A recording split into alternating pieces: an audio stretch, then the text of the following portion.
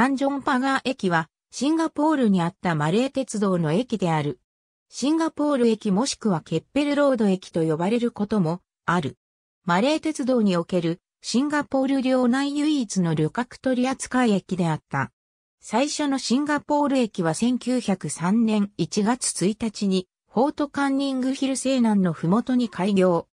1907年1月21日にタンクロードに面したタンクロード駅に移転。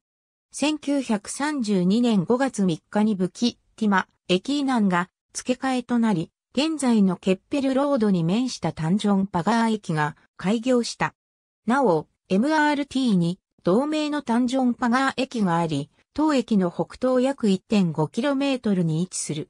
単式ホーム一面一線と島式ホーム一面二線、合計二面三線のを持つ地上駅であった。終着駅であり、くし形ホームとなっていた。駅舎はホーム終端の東側に位置し、北側の到着ホームが単式である。南側の出発ホームは島式であったが、ホームの中心が格子柵で仕切られており、内側が出発ホームとして使用されていた。到着線と出発線の間に木回し線が一本あった。出発ホームの終端側にはマレーシアの国境検問所があり、マレーシアの入国審査と税関があった。